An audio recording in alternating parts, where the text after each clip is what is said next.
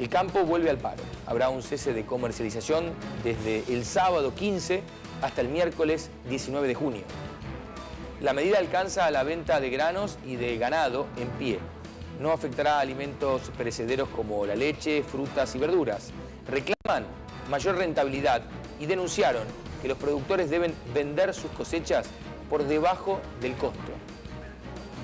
En esta cuestión, eh, digamos, para poner blanco sobre negro, los, dos grandes perdedores del, del modelo, los productores por un lado que están produciendo a menos del precio, de, están vendiendo a menos del precio de costo y por, por ende están entrando en quebranto y los consumidores que cada vez pagan más por esos productos.